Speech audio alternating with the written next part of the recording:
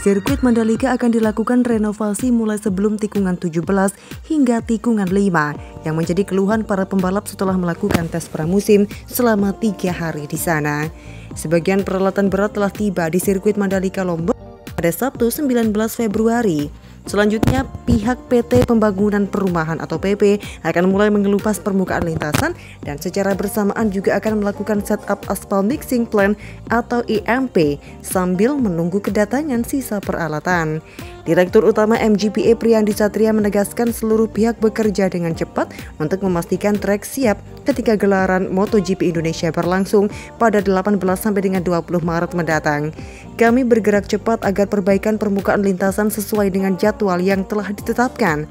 Alhamdulillah, sebagian besar peralatan berat telah tiba dan proses pekerjaan perbaikan bisa segera dimulai, katanya. Berbagai alat berat yang dibutuhkan untuk perbaikan sirkuit Mandalika dijadwalkan tiba di Pelabuhan Lembar, Lombok, Sabtu 19 Februari 2022. Ini sesuai dengan target PT Pembangunan Perumahan atau Persero yang ingin memulai proyek perbaikan trek pada 20 Februari. Untuk mempersingkat pekerjaan, seluruh alat berat yang dibutuhkan didatangkan dari beberapa daerah di Pulau Jawa. Jumat kemarin perangkat yang terdiri dari grup hampar pengaspalan dan alat pemadatan aspal serta alat pendukung pengaspalan tiba di Pelabuhan Ketapang Banyuwangi. Menurut rilis yang dikirimkan Mandalika Grand Prix Association atau MGPA selaku promotor MotoGP Indonesia, saat berita ini dibuat pada pukul 23.50, kapal yang mengangkut berbagai macam alat berat tersebut sudah mendekati Pelabuhan Lembar Lombok. Sebagai informasi, aspal di tikungan 17 hingga tikungan 5 merupakan salah satu kekurangan yang ditemukan Federasi Motor Internasional atau FIM dan Dorna Sports.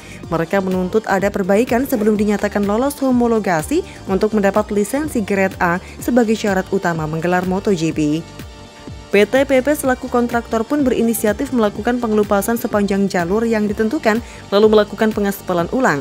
Target proyek ini rampung secepatnya sehingga bisa diserah terimakan kepada MGPA pada 10 Maret 2022 atau sepekan sebelum ajang bergengsi MotoGP diselenggarakan. Dorna mengharapkan hasil pekerjaan yang baik sehingga para pembalap dapat menyuguhkan aksi balapnya di trek lurus maupun saling susul di tikungan demi mendapatkan posisi maksimal. Atraksi tersebut tentunya membuat penonton terhibur.